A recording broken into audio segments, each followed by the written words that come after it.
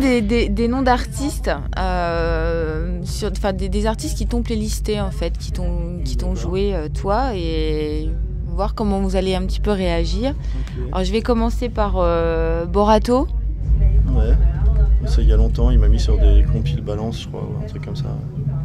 Bah, c'est cool.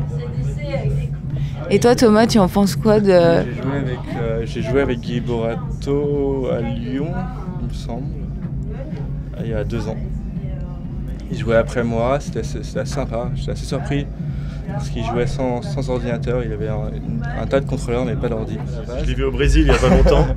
Et le mec, euh, non, non, mais je sais qu'il m'avait playlisté il y a longtemps. euh, maintenant, après, je, c'est vrai que c'est quelqu'un que je vois jamais en fait. Donc, euh, Il est brésilien à la base, ça? Argentin ou brésilien. Tu le croises rarement à Paris quoi, tu vois. Ouais, Euh, bah, si, quand même, il vient, il vient, il vient quand même. Il a, vu- il a joué, au showcase il y a pas longtemps, bientôt Bientôt, mais il, a- enfin, il joue assez, il joue deux fois par an quoi, au showcase, je crois. Enfin, voilà. et, et John euh, Digweed.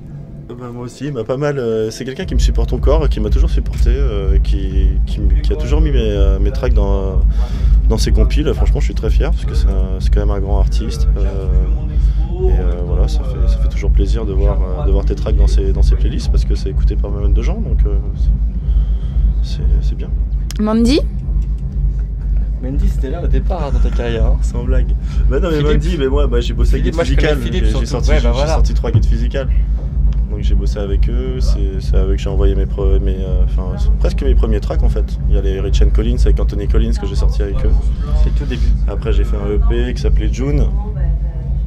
Et, euh, et voilà, donc c'est des gens qui m'ont beaucoup supporté au début. Aujourd'hui je les vois plus trop parce qu'ils sont plus un peu dans la deep. Moi je suis vraiment parti techno.